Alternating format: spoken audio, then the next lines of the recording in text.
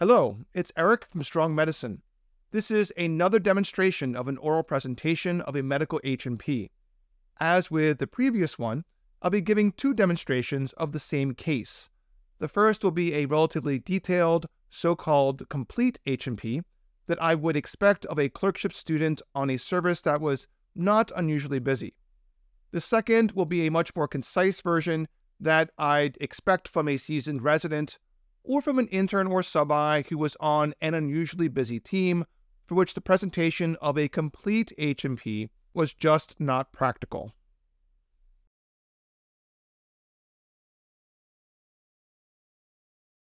The primary source of information is the patient, who appears reliable, though the interview was deliberately kept brief due to her acute illness. The chief complaint Ms. White is a 38 year old woman with no relevant past medical or social history who presented with dyspnea for several hours. Uh, Ms. White uh, reported being in her usual state of health until five days ago, at which time she was struck by a bicyclist while at work at a high school, resulting in a scrape to her right lateral calf against a parking lot pavement. It was cleaned and dressed at the time by the school nurse. Uh, and then three days ago, she had the onset of worsening pain and swelling in the right leg. She saw an outpatient physician who diagnosed her with cellulitis and started cephalexin. Uh, despite taking the antibiotic as prescribed, one day ago she developed a subjective fever and chills and was generally just kind of feeling poorly. Then last night, or maybe in the early hours of the morning, her husband thought she appeared to be unwell, so he woke her in order to check up on how she was doing. At that point, the patient reported she felt her breathing was difficult, she was diaphoretic, and had a measured temperature of 102. So that prompted her to come to the ER. She reported no pain in her left leg, her abdomen, chest, or neck. She reported no nausea, vomiting, changes in bowel habits, or lightheadedness. Her past medical history uh, is only notable for childhood asthma, which has been asymptomatic for many years. Surgical, OBGYN, and psychiatric histories were not explicitly discussed. Her only medication has been the aforementioned cephalexin four times a day. She takes no over the counter meds or supplements. Um, regarding her social history, uh, she lives in a condo in Cupertino with her husband uh, and their four year old daughter. Both of their health is fine. She works as a high school physics and chemistry teacher, uh, but she reports no recent chemical exposures at work uh, from any kind of experiment or demonstration. Uh, she has no pets at home or other animal exposures. Her only recent travel was to Los Angeles two months ago. She drinks a couple of beers or glasses of wine on the weekend. She is a non smoker and she reports no history of recreational drug use. Family history and additional review of systems were not covered. On physical exam, obtained after two liters of IV fluids in the ER, Ms. White appeared fatigued and a bit unwell. Her temperature was 38.5, her pulse was 118, blood pressure 85 over 62, respiratory rate 26, and O2 sat 92% on 4 liters via nasal cannula. She had moderate crackles throughout both lungs. On cardiovascular exam, she had a regular tachycardia with normal S1 and S2, with no murmurs or gallops. Her JVP was not visible with her at 30 degrees. Her radial, DP, and PT pulses were all diminished bilaterally. POCUS revealed a collapsing, non dilated IVC and hyperdynamic LV function. Abdomen was soft and non tender. Her right leg had an abrasion to the uh, lateral calf that appeared clean and was out and was without necrotic tissue or drainage. The right leg was diffusely warm and tender, with pitting edema extending to just above the right knee, uh, but neither uh, crepitus nor tenderness extending beyond the edema was present. There was neuro pain on passive range of motion testing at either the right knee or the right ankle. She has no palpable lymph nodes in the head, neck, axillary, or inguinal regions. Her no exam was unremarkable, though gait was deferred due to her hypotension and acute illness. Uh, moving to tests, her white blood cell count was 14,000 with a hemoglobin of 12 uh, and platelets of 135. Uh, chemistry panel was most notable for a BUN of 22, creatinine of 1.9, and an anion gap of 19. Her lactate was 4.2, uh, and troponin was normal. A chest x-ray was a uh, reasonable quality portable film with moderate diffuse bilateral pulmonary edema. Uh, she had no effusions, and she had a normal cardiac silhouette. ECG showed uh, sinus tachycardia at 118 beats per minute uh, with a normal axis, normal intervals, and no ST or T changes. In summary, Ms. White is a 38 year old woman with no notable past history who presented with acute dyspnea and fever in the setting of a recent diagnosis of right leg cellulitis secondary to trauma. The exam was most notable for fever, blood pressure of 85 over 62 despite 2 liters of fluid, an O2 sat of 92% on 4 liters, bilateral crackles, right leg cellulitis without signs of necrotizing fasciitis or compartment syndrome, intact mental status, and POCUS with a, with a non dilated and collapsing IVC and hyperdynamic LV. Other data includes leukocytosis, lactic acidosis, uh, creatinine of 1.9 without a known baseline, and a chest x-ray with diffuse pulmonary edema. Problem one, uh, septic shock secondary to cellulitis.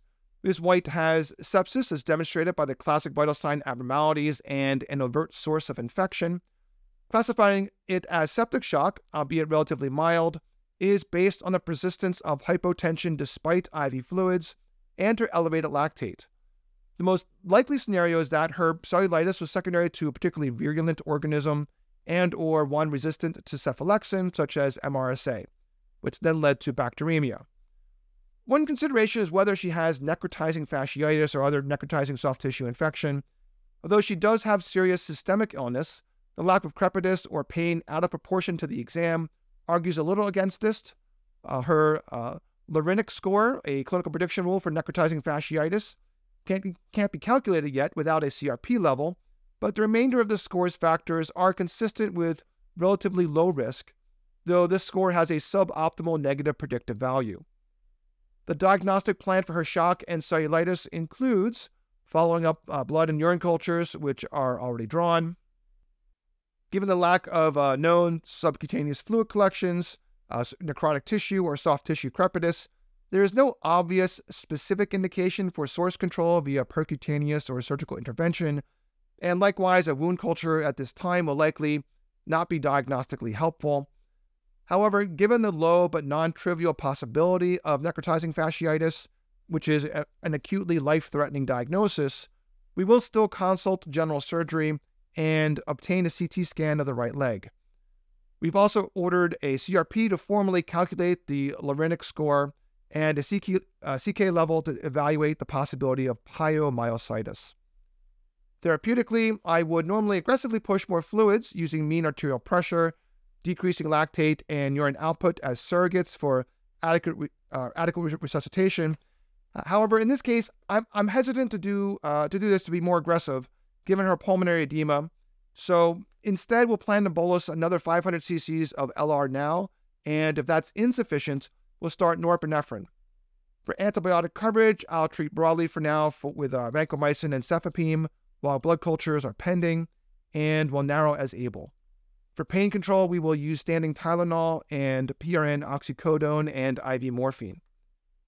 Problem number two is her hypoxemia. Uh, given the combination of her chest x ray with hyperdynamic LV function and evidence of low CVP, this is most likely non cardiogenic pulmonary edema secondary to sepsis and represents neither pneumonia nor concurrent heart failure. We will continue supplemental oxygen as necessary. Positive pressure ventilation is not currently indicated. Problem number three is presumed AKI, uh, presumed because we don't actually have a baseline creatinine for comparison. However, in a previously healthy 38 year old, it's highly likely to have been normal. The AKI is either from pure dehydration or from ATN secondary to sepsis. We'll send off a UA and FENA to help distinguish between these two possibilities. Though doing so won't necessarily change acute management, it will provide a very general idea of the expected timing of renal recovery. Lastly, code status and goals of care were not discussed with her, but we will do so at the next opportunity. Until then, she will be full code. Given the severity of her illness, speculation regarding her anticipated discharge plan would be premature.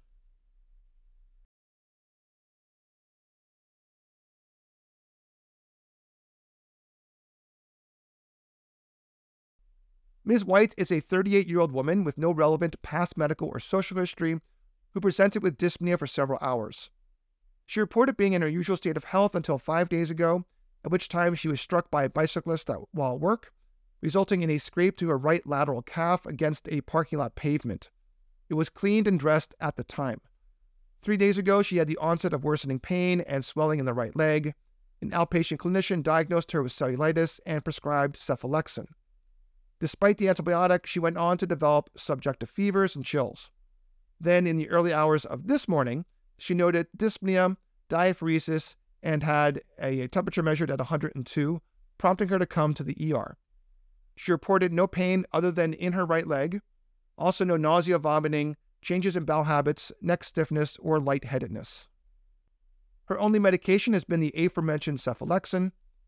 Regarding her social history, she lives in a condo in Cupertino with her husband and four year old daughter. Both of their health is fine. She reports no occupational, animal, or travel related exposures. She reports modest alcohol intake, but no smoking or recreational drug use. On exam, obtained after two liters of fluids, Ms. White appeared fatigued and unwell. Her temp was 38.5, pulse 118, uh, blood pressure 85 over 62, respiratory rate 26, and O2 sat was 92% on 4 liters. She had moderate bilateral crackles, but no murmurs or gallops. POCUS revealed a collapsing non dilated IVC and a hyperdynamic LV. Abdomen was soft and non tender, her right leg had an abrasion to the lateral calf that appeared clean and was without necrotic tissue or drainage.